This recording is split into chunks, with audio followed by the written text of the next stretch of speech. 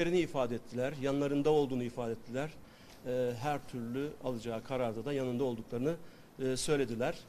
Ee, ve ardından da e, belli bir e, değerlendirmeye geçildi.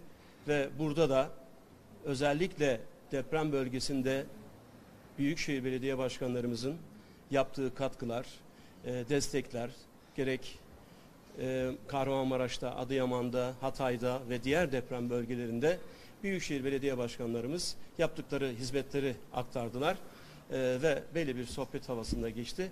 Ardından da ayrıldılar. E, hepinize katıldığınız için çok teşekkür ediyorum. Soru almıyoruz arkadaşlar. Sağ olun. İyi Parti'ye geçecekler demiş.